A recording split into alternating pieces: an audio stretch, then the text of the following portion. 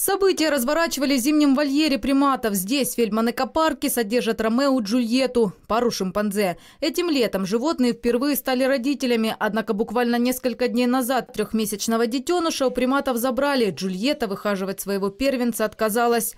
В экопарке предполагают, что это и могло стать причиной агрессии животных. Днем четверг шимпанзе подрались, и в семейный конфликт вмешался работник отдела приматов. Он услышал эти крики, наш сотрудник, и пришел спасать эту девочку. То есть он не должен был это Он делать? э, не должен был делать, но он пожалел, скажем так, обезьян. Это все-таки чувство, это его животные, с которыми он работает. В вольере на мужчину напали сразу две обезьяны. Отбиться от приматов ему помогла коллега. Пострадавшего с ранами на пальцах левой кисти и разорванным правым ухом медики доставили в отделение политравмы неотложки.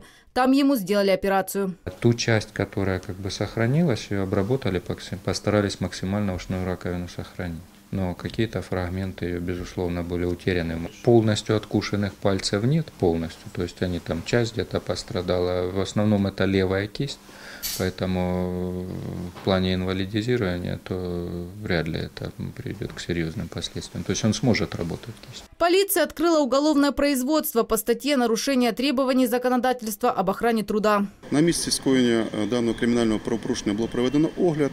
Опитані всі працівники, які перебували та надавали медичну допомогу е, постраждалому.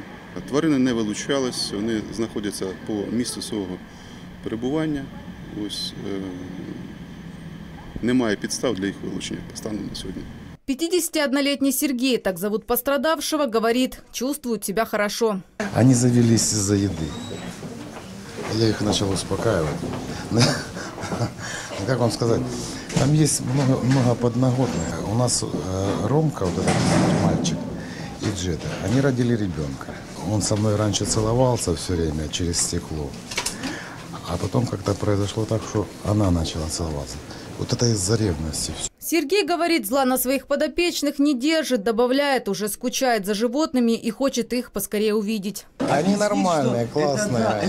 Я их люблю по сей день, и завтра буду любить, и послезавтра. И на работу уже хочу выйти, но мне не выписывают пока. пока. В больнице обещают перевести мужчину на амбулаторное лечение через неделю, а пока будут наблюдать за состоянием ран, чтобы избежать осложнений, которые могут возникнуть из-за укусов животных.